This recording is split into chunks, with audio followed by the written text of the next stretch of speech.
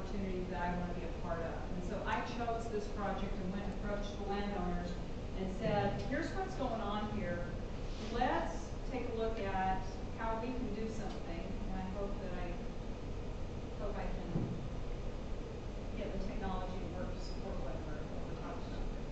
But some of the things that I like about, about this site is the convergence of all the different points of access. And one thing that I've learned from commercial real estate is that value and opportunity follows access. So if you take a look at Orem, for example, my city, Orem has four freeway interchanges and has developed, uh, has had commercial development along all four of those freeway interchanges. Provo, in contrast, has two interchanges. And, and to get to Provo, actually to get to BYU, most people go through Orem.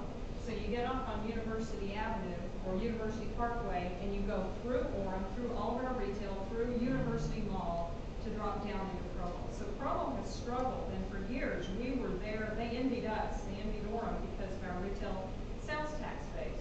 Well, we took advantage of those four corridors and said, let's have a lot of commercial development along those corridors. So we attracted, uh, auto dealerships, which give you, you know, large sales tax base and all that sort of stuff.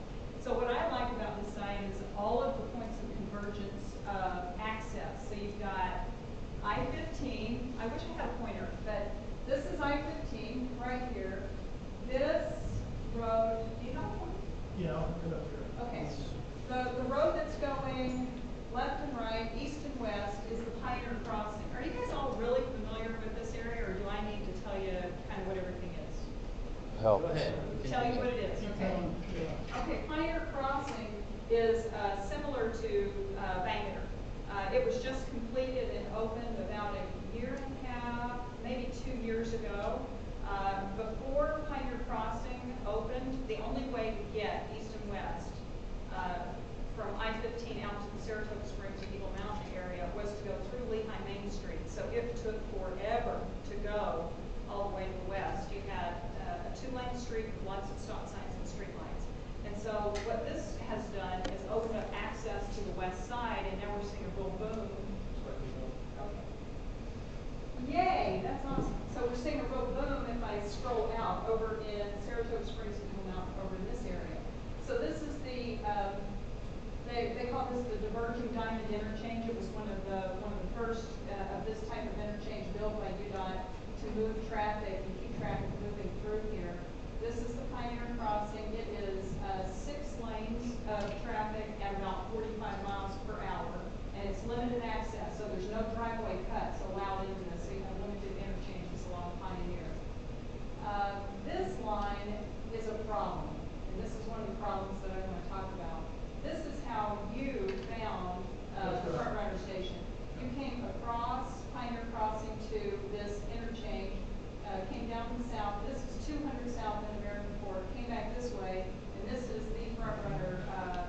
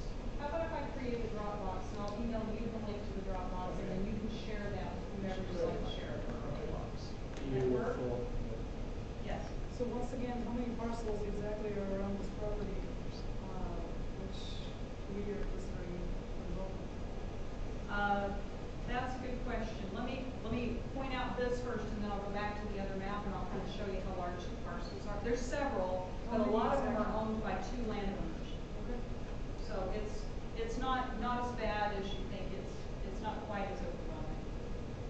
So this is the, the station right here. This shaded area represents the quarter mile area from the center of that station. And the, a TOD area is it's considered usually walkable for about a quarter of a mile. And people will walk if it's a real destination up to a half a mile. So the half mile goes all the way out to here. But you see how much developable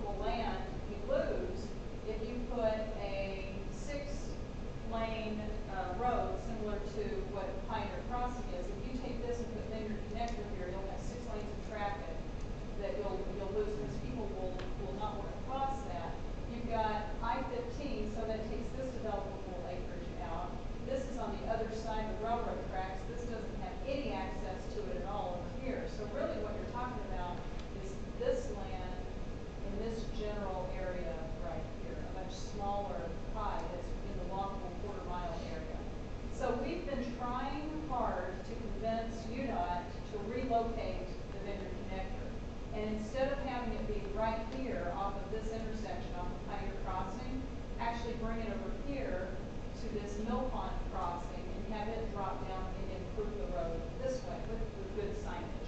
And what that would do is open up this area to, to make it more cohesive development. So if you guys would like to put that in your plan, I would be thrilled. That would help me out tons. It's difficult to get UDOT to abandon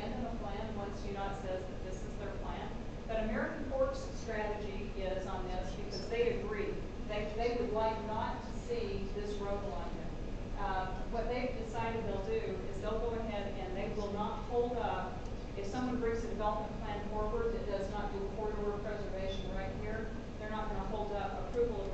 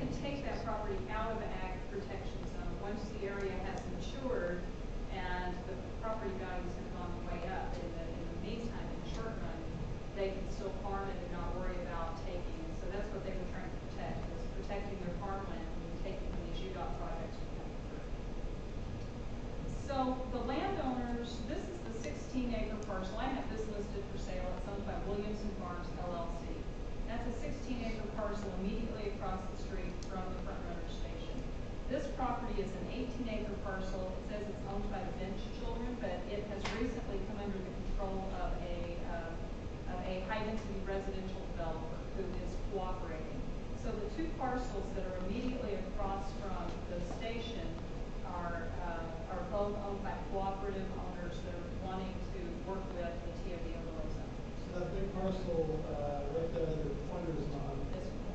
that one is owned by the high density residential developer. It's under control right now, so the high density residential. So when you say high density residential condos or multifamily? Well, he has, he, no, not condos, multifamily. Uh, he's built townhomes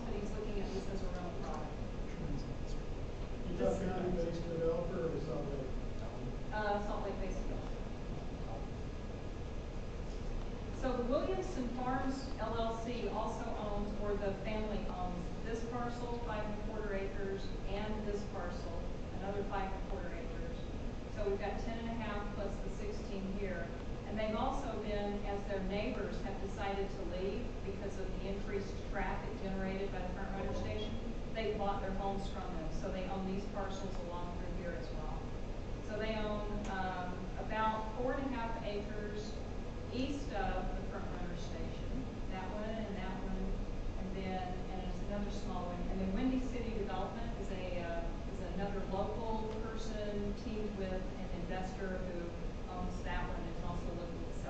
a lot of people willing to sell property around.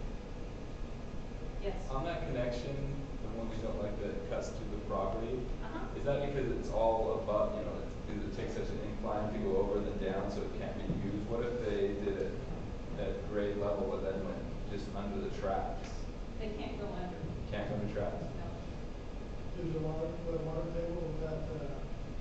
Uh, just really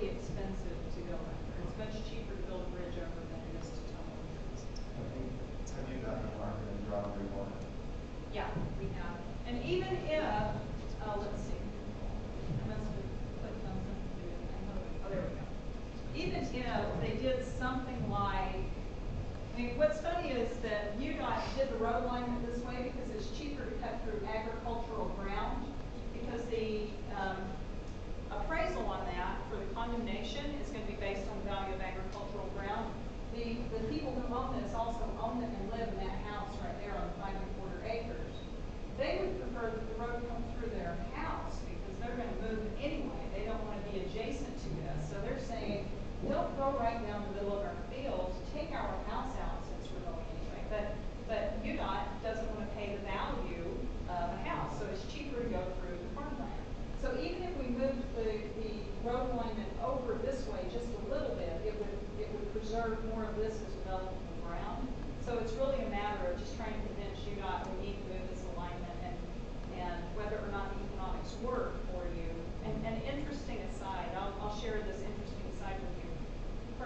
perspective.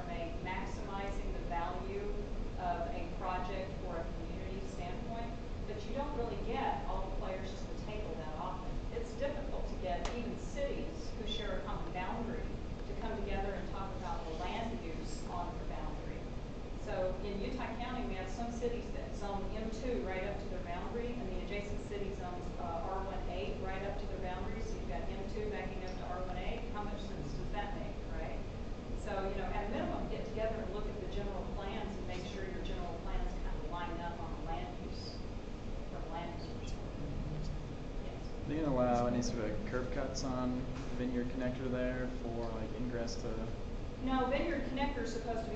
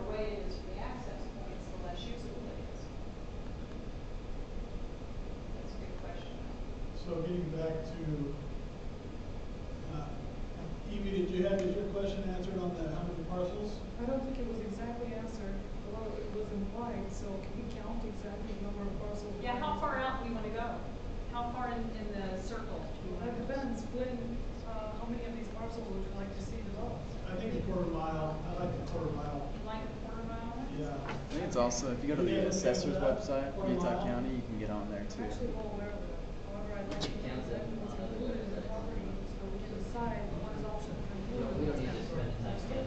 Yeah. Well, it's not that many, actually. So this is Franson property, and over their dead body, will you do anything on it? So I would say, you know, if you want to plan what this could be future-wise, but if you're trying to actually come out of the ground, you know, say this is something that we could build, you've got one, two, three, four, five, this is a single-family home subdivision, an existing one with really nice homes. You're probably not going to see those get torn down. So again, one, two, three, four, five, six, seven, eight, nine, ten in the quarter mile, roughly ten.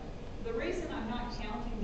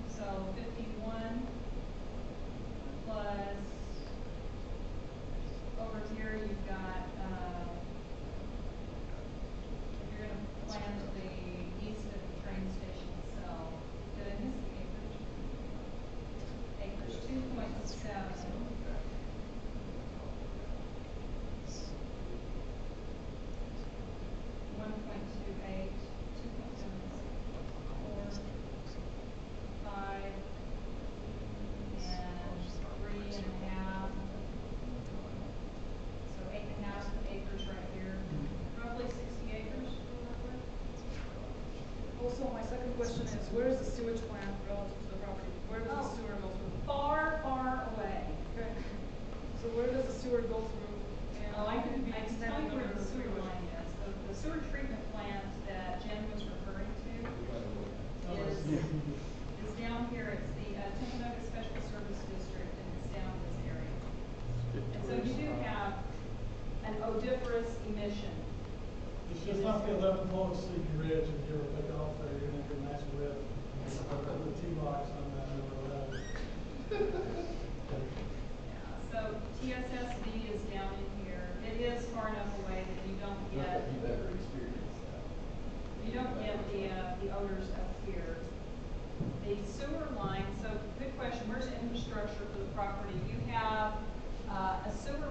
runs right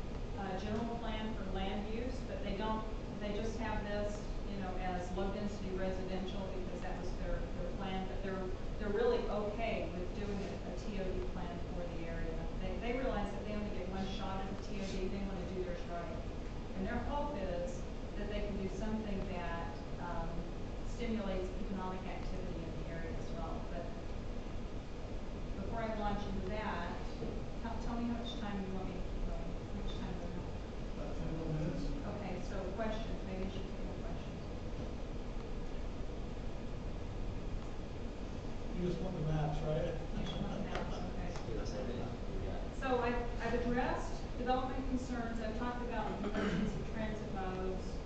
Um, you know, TOD is different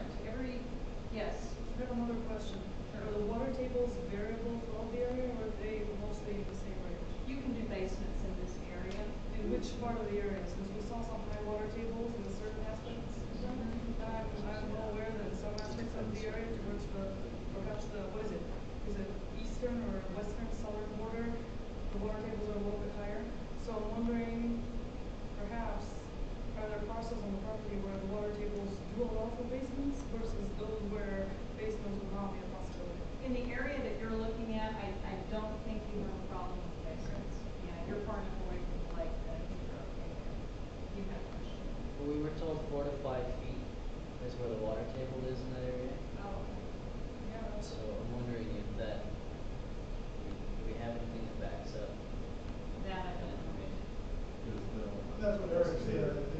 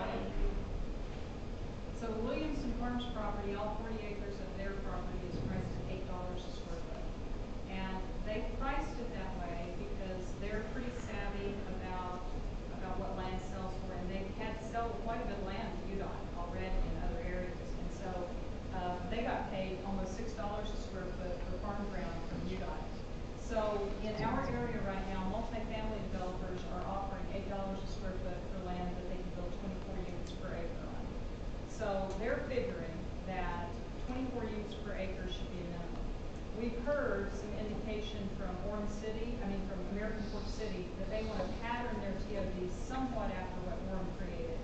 Orem's TOD zone allows uh, a mix of uses including retail, commercial, and professional office, and high-density residential. It doesn't specify the ratios. It does specify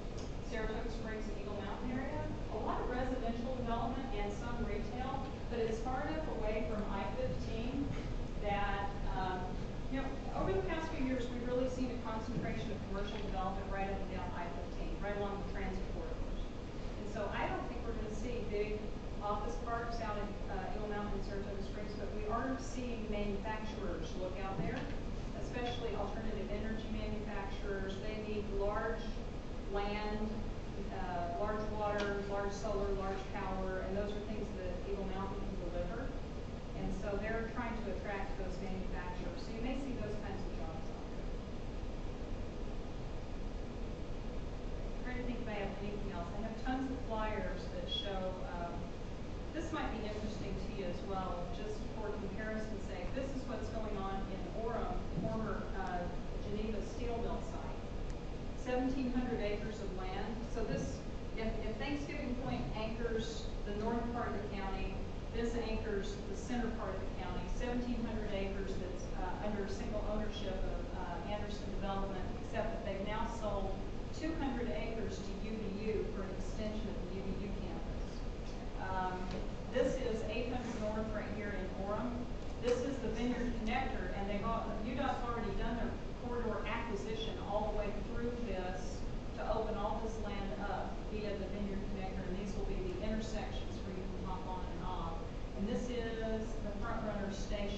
right here in Vineyard, which the concrete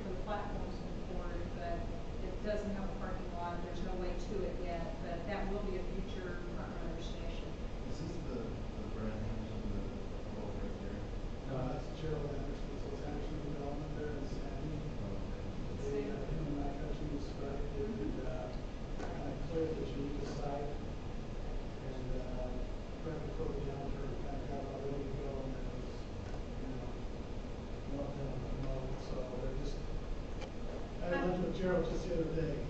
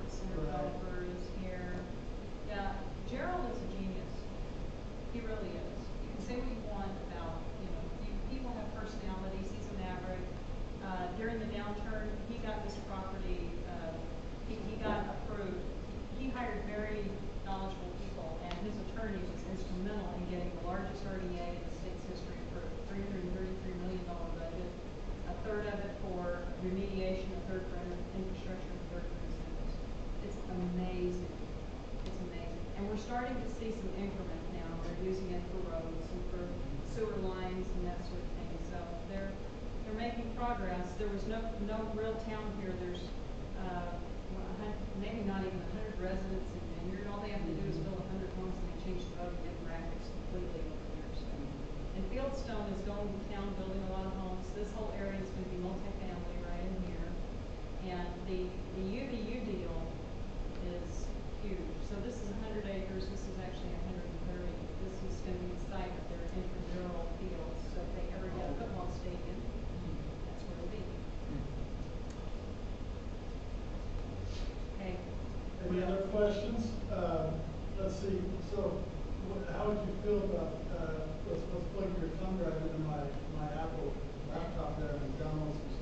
share some stuff? Okay, I can do that. I got this from. That way we can, we would have to do the Dropbox. Okay, well, let me ask you this. Would you be okay if I clear this with Stuart Park, the development, uh, the guy that works for Gerald, that is, is project manager, before I give you that map? Yeah, I'll clear it. Gerald would probably be okay with it.